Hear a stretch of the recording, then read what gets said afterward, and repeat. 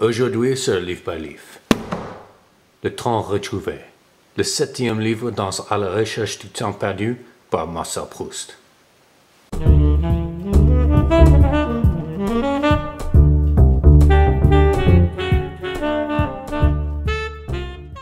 Ironically, the final volume of À la recherche du temps perdu displays a marked increase in the lamentations over Marcel's inabilities and loss of interest in literature and writing.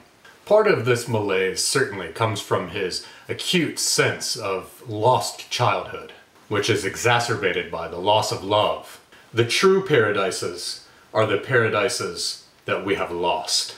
If this is a play off of John Milton's own masterwork, Paradise Lost, then it is no wonder why 4,300 pages have been expended to track down transient fragments of memories. As for the increased anxiety as regards his abilities as a writer, this is due in part to the fact that in this final volume, Marcel achieves the epiphany of his purpose, his vocation, to write his way back to the times he lost in order to regain the promise he missed, the one and only medium in which it could exist and enjoy the essence of things, that is to say, outside time.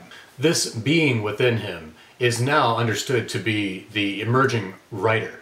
And being outside time can be understood as, in limited form, recapturing the past.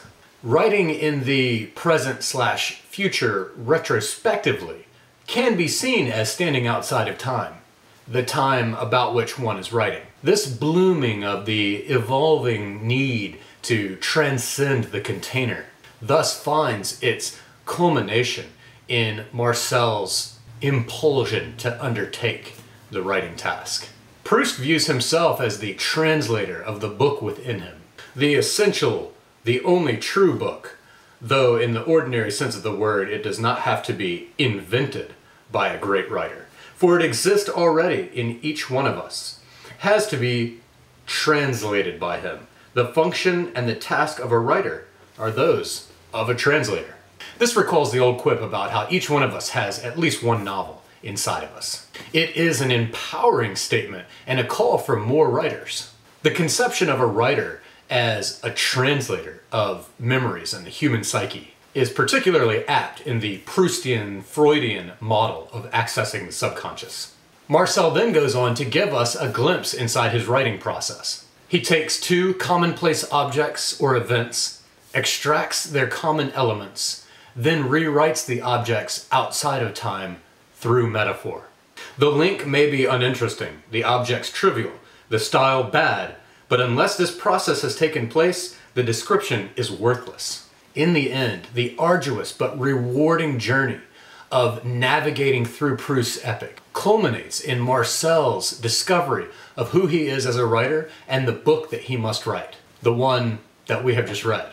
Some have found this self-indulgent, but if we read Proust carefully, we find that he does not see this as some great narcissistic endeavor, but rather it would be my book, but with its help, I would furnish readers with the means of reading what lay inside themselves. This is a stunning moment of foresight. Harold Bloom has written extensively about writers who actually cause us to read ourselves. Or he speaks of the writers like Shakespeare reading us better than we read them. Though Proust's epic lacks the cosmopolitan quality of other sprawling works, its encyclopedic and anatomistic tendencies of those of, say, the anatomy of melancholy aim to catalog and inspect the internal human experience and its tension within external pressures.